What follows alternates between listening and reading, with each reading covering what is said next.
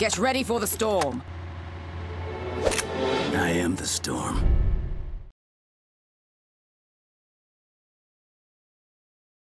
At the end of my video on Sui Suikoden 1 and 2, I said that I planned on covering the rest of the series.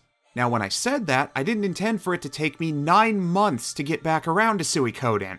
But then I got distracted by other games I wanted to cover, had a video I never expected in a million years to do well absolutely blow up, got completely overwhelmed by both that and the fallback to reality with the videos that followed, and then I finally got my own copy of Skies of Arcadia and obviously had to cover that one first. You should go watch that one after you're done here. It's got Sky Pirates. Before I took way too long to get back to it, my original plan was to cover the Suiko Gaiden duology before moving on to the PS2 era. At least try to cover these games in release order, you know? But after all that time, I feel like it would be kind of a screw to the audience to just cover a couple PS1 visual novels. That is 100% the only reason I decided to cover the main five games first and then the spin offs. It has nothing to do with me being a dumbass who forgot to buy those two games. Don't let any text currently on screen tell you otherwise. Released in 2002 only for Japan and North America, I guess Konami had something against PAL territories? Oh dear. Suikoden 3 is the last in the series to be overseen by creator Yoshitaka Murayama, who sadly passed away earlier this year. So in a way, and please excuse the incoming pun, this can be seen as the swan song of the classic Suikoden games. I use air quotes there because, well let me put it this way, if you have 10 people play Suikoden 3 and ask them what they thought, you'll get 11 different opinions. Some think of 3 as the pinnacle of the series and place it among the pantheon of the greatest RPGs on the PS2. While on the opposite end of the spectrum, you have those who think it's an utter disgrace to the series that poisoned our water supply, burned our crops, and delivered a plague unto our houses! And of course, all of the opinions in between. Quick reminder that I've covered Final Fantasy VIII, and even that doesn't approach the fan divide over Suikoden 3, which means that this whole video is going to feel like wading through an ocean of angry hornets no matter what my opinion is. What do you mean you don't agree with me? Do you know who you're dealing with? In contrast to the fan base, critics by and large adored this game, with the weakest reception coming from critics who were either big fans of the first two or worked for Edge magazine. Edge never liked anything that wasn't by Nintendo, Bungie, or Rockstar though, so that's not saying much. As for my own thoughts on Suikoden 3, look, I'm not going to keep you in suspense the whole video on this. It's a noticeable step down from 2. Mind you, that was practically expected going in. Suikoden 2 is among the best RPGs on a platform drowning in great RPGs. Crafting a superior successor on the same system would have been a difficult enough challenge. However, the PS1's time in the sun had come to an end, and it was time for Little Brother to take a turn. So Murayama and his team had the unenviable task of not only following up on their opus, but needed to do so on brand new hardware and this time in full 3D. The jump from PS1 to PS2 was more of a kick in the teeth than some developers had arrogantly assumed, resulting in lackluster entries that nearly killed franchises. The PS2 wasn't simply a PS1 with better graphics, it was its own beast. And moving a series like Suikoden to 3D, not only do you have 108 different characters to recruit, but somewhere around 80 of them need to be playable, then remember that virtually zero assets from the first two games can be reused or repurposed, and you still need to cobble together an enemy roster, walk around NPCs, dungeons, and a world map. The lack of 3D experience also means that you likely won't be able to compress everything as efficiently as developers with plenty of 3D RPGs to their name could so you'll likely have to cut corners to save space. All of this is to say that it would have taken an act of God to make a game that was as good as, or even better than, Suikoden 2 under these conditions. I knew that going in, and yet still couldn't help but be disappointed with the final result. Suikoden 3 isn't a bad game by any measure, but, well, it's easier if I just explain the game already. Suikoden 3 moves us west of the second game's setting of Dunan to the Grasslands, a troubled region host to frequent conflict between the various tribes of Grassland and their neighbors, the Zexen Confederacy. All the while, the Holy Kingdom of Harmonia waits in the wings for the perfect moment to strike and claim the grasslands for themselves. What makes Suikoden 3 stand out immediately is that rather than the single player character of the first two games, you're given control of three different characters through the Trinity Sight system, ostensibly providing you with a perspective from all three sides. First up is Hugo, a member of the Karaya clan and son of their chief Lucia, who you might recall as a minor antagonist in Suikoden 2. Though I admit that I'd rather be playing as Lucia, making the child of a previous antagonist one of the new heroes is an interesting choice. The series has always enjoyed adding nuances and shades of grey, so getting a better idea of exactly who the Karayans are is a welcome bit of world building. Hugo himself is the closest we have to a prototypical protagonist among the three PCs. At Hugo's side are his griffin Fubar, his surrogate little brother Scrappy Doo, I mean Lulu, and possibly the greatest character in all of Suikoden, Sergeant Joe. Whatever else I have to say about this game, know that I will be eternally grateful to Suikoden 3 for providing me with a halberd-wielding, military-minded, food-loving, and in the manga adaptation I didn't have time to read, cigar-chomping, anthropomorphic duck. It gets even better when you imagine him being voiced by George C. Scott as General Patton. It is not in the file. That was from The Exorcist 3, but okay. Joe is probably the most developed of Hugo's supporting cast, often playing the voice of reason when Hugo's temper gets the better of him. It says a lot about the quality of this game's writing that I'm capable of taking the duck with the Technicolor combat uniform seriously. That's the magic of Suikoden. Next up is Chris, the newest leader of the Zexen Knights who is both beloved and feared for her prowess on the battlefield. Though Chris herself isn't too keen on the fame or involvement in the corrupt dance of Zexen politics her position brings, and especially not the Silver Maiden nickname friend and foe alike seem intent on calling her. She's a fine character on her own who's let down by her supporting cast. The knights under her command are all different shades of bland. You've got the bland pretty one, the bland strong one, the bland elf archer one, the bland psycho one whose last name is literally Red Rum, the bland squire one, and the bland consigliere one with Super Saiyan 3 eyebrows. You're one ugly motherfucker. Not to mention that it felt like half their dialogue consisted of them fawning over Chris like she's Ebony Darkness Dementia Ravenway. If you don't know what I'm talking about, consider yourself lucky.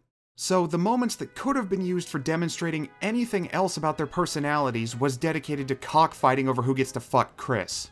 I suppose Percival, the bland pretty one, does get a brief moment to shine when he and Chris visit his hometown, but it isn't long before he's overshadowed by Nash, the player character from the Suiko Gaiden games. Son of a bitch, I knew I should have played those first. I feel like discussion of Nash's character would make more sense for when I cover the Suiko Gaiden games, so let's get to the final main player character, Geddoe. Geddoe heads up the 12th unit of Harmonia's Southern Frontier Defense Force. The SFDF function as a sort of deniable ops group for Harmonia, taking on the kind of jobs that would be politically inconvenient for the government or the actual army to get involved with. Geddoe himself seems to have been designed to be the polar opposite of your typical Suikoden hero. Quiet, aloof, and always emanating an air of mystery, yet deep down he seems to possess a hidden altruistic streak. Though it took a while before Geddoe truly became an interesting character for me, the band of misfits under his command helped carry the chapters before that point. You've got Geddoe's second in command Ace, a man with a woman in every port and the debt to match, Joker, a hard drinking monk with a mysterious past, Queen, the closest thing the 12th unit has to a social butterfly and Joker's drinking buddy, and Jacques, the new kid who's just about as aloof as his crossbow is comically large. I don't know about you, but I'd watch this anime. Maybe not an all-time classic, but a fun 13, 26 episoder to have on while I'm editing. They even come with their own comic relief rival squad. On top of the main three you'll play as throughout the game, there are three bonus selections that you can unlock. The simplest of these is running around the base as one of the dogs you can recruit. See other recruits' reactions to said doggo and take a few laps around the horse track. I cannot express the disappointment I felt when I realized this didn't involve the dog riding around on horseback.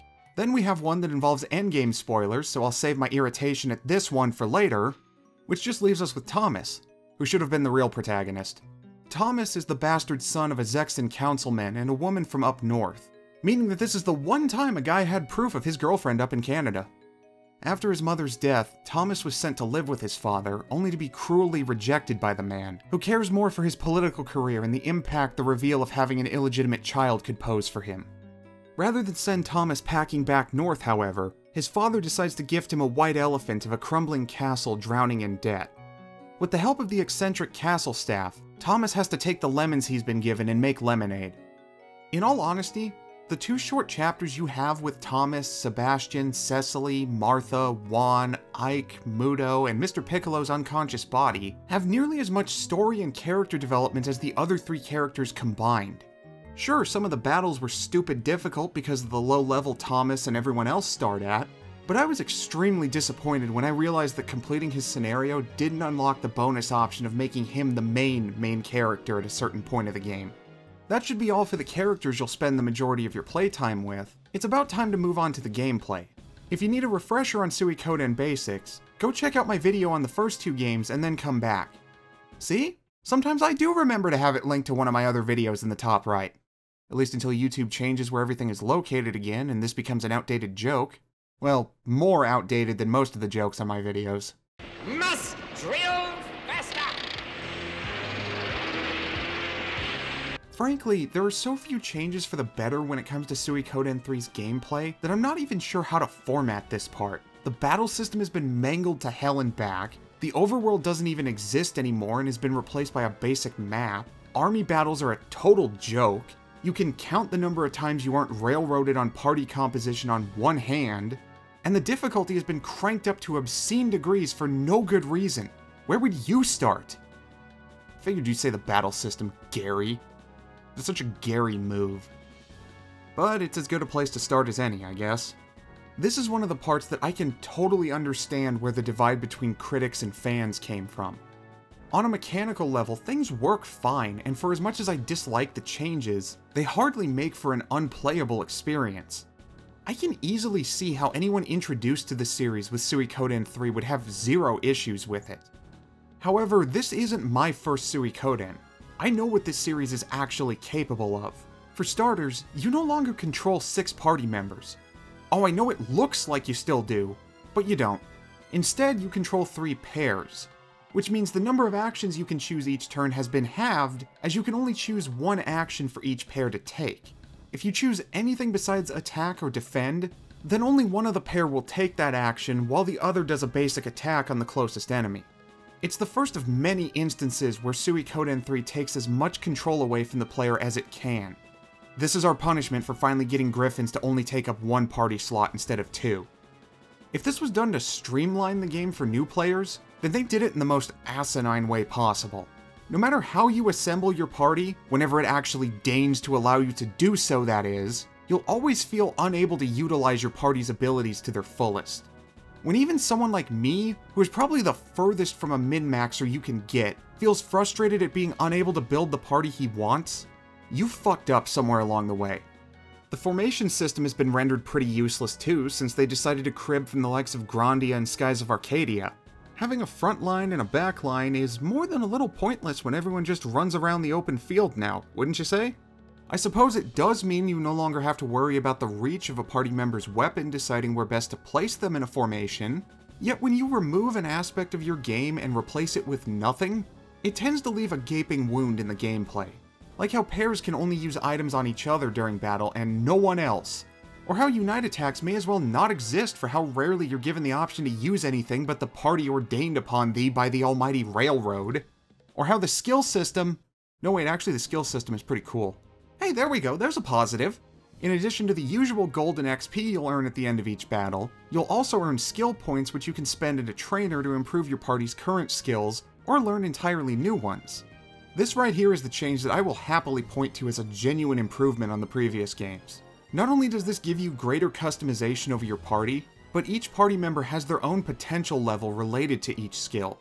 No longer are you simply scanning the roster for who has the best magic stat and affixing the strongest runes in the game to them. Now they need to have the proper training and affinity for said magic before they can utilize it effectively, which helps provide some welcome mechanical differences in the massive roster of characters. Back to the changes I don't like, the difficulty spike. Ooh, I bruised my little piggy head bone. The first two games had their moments, sure, but they were never all that difficult to get through. Apparently, someone on the dev team didn't like that, as Suikoden 3 contains an array of pain-in-my-ass encounters. This isn't just story battles or bosses either. I'm talking about random encounters that will absolutely wreck your party just because the game was feeling particularly vindictive that day. Enemies will be dealing damage well over 100 when having a character in your party with 500 HP is something you won't see until the end game. Heaven help you if you die in a story battle, which you will, because it's back to the last save point followed by mashing the X button for all it's worth to get through the same dialogue you'd already read 5 minutes ago. Even more if it's an army battle. Ah, army battles. After coming close to a solid imitation of strategy RPGs like Langrisser and Suikoden 2, what we get instead is. the story mode from Budokai 2? Wow, you are just the grand central station of disappointment, aren't you? This cheap ass map that had looked more at home on Newgrounds was seriously their idea of a next generation take on the large scale army battles of the first two games. At this point, why not just bring back the single screen rock, paper, scissors format of the first one? From a mechanics standpoint, these battles just flat out suck. They weren't all that special in Suikoden 1 or 2, but 3 demonstrates exactly how haphazardly thrown together they could have been. Your units aren't even actual units of soldiers commanded by party members anymore. They're just parties of four that play out an even more streamlined version of the normal battle system. Now you don't get to pick anything beyond attack, defend, or retreat. Units will use runes whenever they feel like, attack whichever target they feel like, and deal completely unpredictable amounts of damage. At the same time, the enemy AI flips between being more brain dead than the average Green Bay Packers fan, and mercilessly going for the throat the first chance it gets like the average Green Bay Packers fan. Why would you draw that? Watch as the AI waste moves in its limited movement pool on seemingly avoiding attacking you altogether, then lose anyways because this section is ridiculously hard, followed by having that loss compounded by the AI immediately making a beeline for you the next time out. This is made all the more aggravating by, once again, how rarely Suikoden 3 will give you the opportunity to change your unit configurations.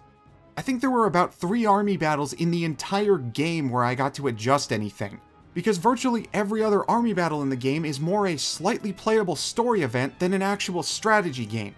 Hope you enjoy fleeing or holding out for X number of turns, because that's all you'll be doing up until the final chapter. Then it briefly remembers it's a Suikoden game and army battles almost become fun for a bit. But the specter of that infernal railroading continued to loom over everything, constantly making me question if I was about to hit another moment where the game may as well just rip the controller out of my hands. Of course, the first two games had their moments of forcing the player to take certain characters along and messing with the composition they preferred. Yet there, even if it could still be annoying, these segments felt like they were put in to keep the player from becoming too complacent with their party configuration, and most of the time you had the space remaining for your absolute favorites anyways. In comparison, Suikoden 3 behaves more like a control freak DM. No, you can't take along that new party member you recruited. I already gave you the party member that my story needs. I'll let you use these recruits when I can trust you'll use them the way I intended. 30 hours. It took me 9 main chapters, plus Thomas's two side chapters, totaling 30 fucking hours before I had access to a headquarters where I could swap out party members on a whim.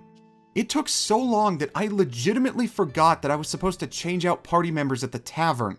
It took that same 30 hours as well before I had access to fast travel, which makes traversing this tiny, sad map and the glorified hallways it calls locations take so much longer to traverse than it should. In total, it took me about 50 hours to finish Suikoden 3. I'm pretty sure at least 20 of those were from the padding of having to cross the map one node at a time, no matter what. I'm sure it seemed thus far as if there's nothing about Suikoden 3 I really appreciate outside of the new skill system. Well then let's get a bit more positive and talk presentation. Right at the start, Suikoden 3 hits you with this awesome opening FMV that gets you hyped with its slick animation and 100% eargasm of an opening number performed by the Japanese equivalent of Enya, Himekami.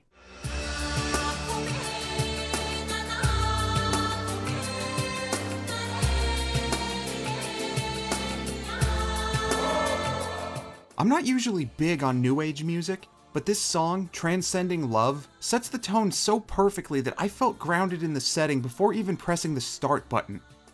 The remainder of the game's music is similarly excellent, despite the fact that the original Suikoden composer, Miki Higashino, didn't return for 3. In her place is the queen of Castlevania music herself, Michiru Yamane, with help from Takashi Yoshida, who I couldn't find a picture of, so here's a guy from Dragon Gate with the same name, and Masahiko Kimura, composer of both N64 Castlevania titles. Both men would go on to collaborate with Yamane again on Castlevania's Sorrow duology, Yoshida for Aria of Sorrow, and Kimura for Dawn of Sorrow. Well, if you're gonna replace the woman responsible for not just the first two Suikoden soundtracks, but those of the arcade versions of Gradius and Teenage Mutant Ninja Turtles, pulling from the Castlevania sound team is the least you could do. When it comes to graphics, for an earlier PS2 title, I think this has held up pretty well. Finally getting my PS3 in a spot where I could easily record footage off it makes it look even better. Some areas can feel a bit more lifeless than I think the developers intended, but that was so common at the time that it's hardly a strike against Suikoden 3 alone, particularly when it's obvious the focus went into the character design. And when you've got 108 different characters in the player's roster, that's where I'd prefer the focus be at anyways. Regardless of your feelings towards Suikoden 3 itself, you're bound to find at least a few favorites based on design alone. The biggest exception to this strong character design being with the Zexen Knights.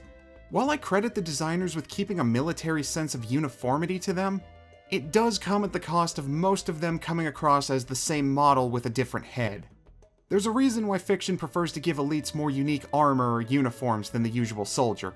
Another issue that cropped up for me was the discrepancy between the portrait art and the character models, particularly with the human characters. Put simply, the cutesy, edging on chibi aesthetic of the 3D models clashes harshly with Fumi Ishikawa's more serious and detailed portraits. On their own, both are perfectly fine. I love Ishikawa's art to begin with, and the 3D models themselves remind me of Skies of Arcadia, so no problem there. But when they're put together, they have that vibe of comparing the art style of an old game with its remake, except instead you shove the remake's portraits into the original version. Ugh. Sorry, I just had the horrible thought of someone doing that with Langrisser. I eventually got used to it, but I would have preferred if they'd decided on an aesthetic instead of this weak attempt at meeting in the middle. When have we ever done that? We've never done it that way. Finally, we come to the story of Suikoden 3. If you still plan on playing this game and you don't want anything spoiled for you, skip ahead to here for my conclusion. The first chapter for all three characters is framed around the impending peace agreement between Zexen and the Grasslanders. Hugo is sent off by his mother as an envoy to deliver a message to Zexen. Chris is to be the primary representative of Zexen at the Peace Summit. And Geddoe... Geddoe just sort of gets caught up in everything while on assignment from Harmonia to search the grasslands for clues relating to the rumored return of the Firebringer, the coalition of grassland warriors that fought Harmonia to a standstill 50 years ago. This being the first chapter and all, naturally things go tits up at the Peace Summit when the Lizard clan unexpectedly attacked the Zexen Knights' rear guard, with Karaya and the other clans soon joining in on the attack. Confused by this turn of events and trapped in enemy territory, Chris and her knights make a desperation ploy of attacking the Karayans' village in the hopes of making the Grasslander army pull back to defend their own homes. In spite of Chris's orders to only burn the homes and spare the civilians, Boris, the psycho one, does exactly what you'd expect a guy with the last name Redrum to do. He and his unit ride on ahead of the rest and butcher everyone they can. Already stunned by the carnage wrought by her own men, Chris is shocked further to discover her missing father's armor sitting outside a Karayan home. Enraged by what she presumes to be a trophy taken by one of their warriors, Chris, partially on instinct, partially out of blind anger, lashes out at the Karayan foolish enough to try and attack her. It's only when it's far too late that she realizes it was only a child, Lulu. With barely a clue as to what's going on, Hugo and his friends had escaped the Zexen capital while being pursued by the two knights who had been left behind when Chris headed off to the Peace Summit. Having been repeatedly rebuffed and belittled by Zexen nobility, Hugo returns home to see the woman who had killed so many of his clan in battle standing amidst the burning ruins of Karaya. Before Hugo or Sergeant Joe can restrain the boy, Lulu lunges at the silver haired maiden, only to be struck down with a single blow. All Hugo can do is scream in anguish and clutch the lifeless body of his friend as the knights silently depart. The tragedy here is beautifully done. By having to play more than one perspective, the player knows that neither the Zexen Knights nor the Grassland clans had any deceitful intentions going into the negotiations. Both legitimately wanted the fighting to end, Yet all it took was a single spark to light a raging inferno that took the lives of countless innocents. Suikoden 3 wastes no time at all in portraying the senselessness of war and the beast it brings out in supposedly honorable men and women. Horrific mistakes that can never be taken back are made in the heat of the moment, perpetuating the endless cycle of hate. If the game had kept up this level of storytelling, I would have forgiven every single downgraded aspect of the gameplay.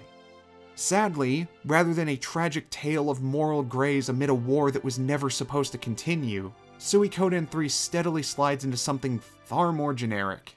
The cracks begin to form as far back as Geddoe's first chapter. Notice how I didn't include his part in my recap of that haymaker of an emotional gut punch? It's because his first chapter feels disconnected from Chris and Hugo's chapters. Geddoe and his crew are just sort of there for the initial part of the story. Borderline neutral observers who mostly get involved because they happen to be present when an attack occurs. From the audience's perspective, there's no real emotional investment in the conflict for Geddoe or any of the 12th unit. Later on, we learn that he does indeed have a damn good reason for caring, but that's not for another 10 to 20 hours. In the meantime, his story seems to be present mostly to hint towards the intentions of the main villain and his henchmen. Were it not for the great dynamic between Geddoe's party, especially once Aila joins up with them, the early part of his story would have been a slog and a half. Eventually, what seems to be part of a Harmonian conspiracy to restart the war between Zexen and the Grasslanders to weaken both sides for a prospective invasion, which would have been a far more interesting premise in my opinion, leads all three protagonists on a hunt for the Flame Champion, the semi-mythical leader of the Firebringer. Hugo because he wants the Flame Champion to save the Grasslands once again, Chris because of a lead to the whereabouts of the father she'd thought dead, and Geddoe because of an ominous masked Harmonian bishop's obsessive hunt for the true rune of fire and because he wanted to see an old friend. However, it turns out that the Flame Champion has been dead for years, having relinquished his true rune, which conferred immortality, in order to live out a mortal life with the woman he loved. From here, the player gets to decide which of the three main characters inherit the true fire rune. I went with Hugo because he felt like the most natural choice. Whoever you choose, the plot swiftly shifts from an apparent Harmonian invasion to the masked bishop's plan to steal the elemental true runes for his own ends. But who could this masked figure possibly be? There are so many powerful mages in the setting dressed all in green that it could- It's Luke. It's Luke. It's so fucking obviously Luke that I don't get the point of disguising him. Here's his picture. he doesn't look so tough. This is the kind of reveal that really only exists for the audience's sake and not the characters. There's about four returning characters from the previous two games who could have reasonably recognized Luke, and he'd have no reason to believe they'd even be in the area, much less working for people trying to stop him. Not to mention that all they'd remember of him is being the arrogant little shit Leknaat dropped off to show the hero the tablet that keeps track of how many stars of destiny he's collected. I suppose you could argue that he wore the mask to hide himself from Sasarai, but how stupid would he have to be to not recognize Luke when all he's done to disguise himself is wear a faceplate that barely even hides his face? And Luke's motivation for his heel turn? He's been getting visions of a bad future his whole life, so he's gonna blow up the grasslands with the power of the elemental true runes and kill God in a mass murder suicide. Something something destiny, something something liberating mankind, and the best argument his slavishly devoted girlfriend can mount in defense of his plan to murder tens or hundreds of thousands because of a possible future in a plan that he has no guarantee will actually work is, well, you've killed people too. That is just fucking stupid! As we all know, a soldier killing people in combat is exactly the same as killing tons of people because you're too much of a cowardly little shit to die alone. Congratulations, Sarah, you've reached the intellectual capacity of the average Twitter user. Oh, but it all gets explained if you recruit every possible character, thereby unlocking a playable epilogue where you see everything from Luke's point of view. I hit my breaking point when it explained away Boris's rampage by Sarah projecting an anger field around the village. A fucking anger field. All because the writers didn't want to resolve the plot point they wrote of a party member committing an atrocity. Just have him say he feels bad a couple times, reveal that the anger field made him do it, and everything's a-okay. Oh wait, the other knights never learned this fact. They just forgive him for being a war criminal because they're buds. Way to completely undermine one of the strongest points in your story that hooked me in the first place. Who wants to see a story where characters who genuinely uphold chivalric ideals come into conflict with a knight who behaves closer to what knights were truly like in history? You raised my hopes and dashed them quite expertly, sir. Bravo! As for the rest of that epilogue, while I normally play the games I cover to completion, I gave up shortly after the anger field and just read a recap online. What a bitch. Unprofessional, yes. But if after dragging me along the railroad for the vast majority of those 50 hours, Suikoden 3 hides away all the context and depth of its main villain in post-game content, it clearly considers this to be about as important to the story as I do.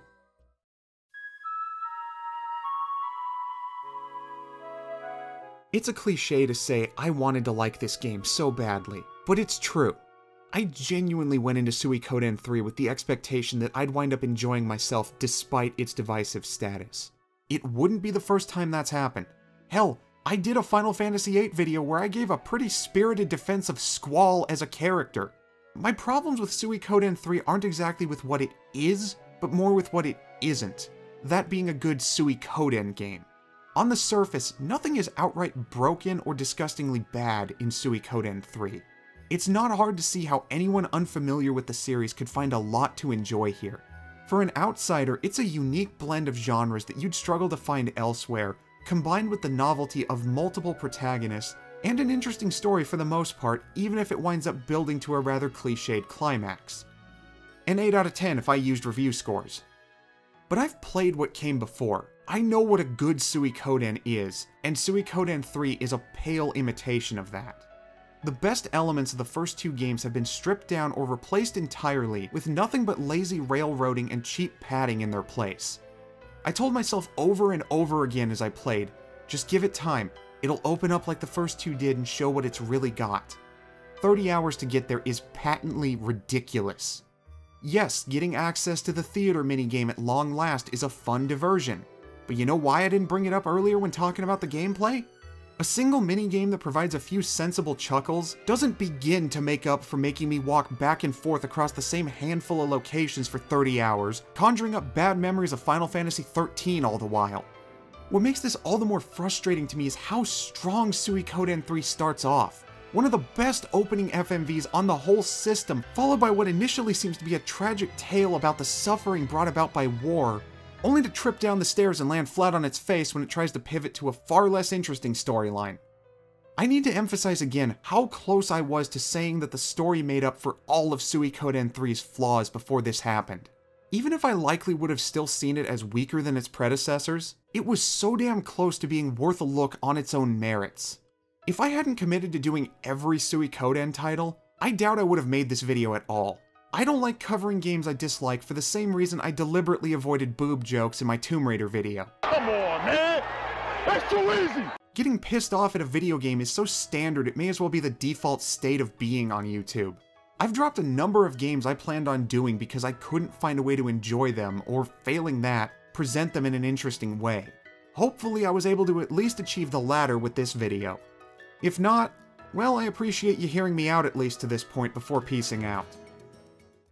Feels weird to add anything after that, but I don't know where else to put this. I've been running myself ragged to get the last few videos done in a reasonable time frame, and I feel like I'm on the verge of burning myself out. To keep that burnout from happening, I'm going to be taking some time off to relax and recharge my batteries. It won't be for too long though. You can look forward to my next video on August 13th. I'll see you then.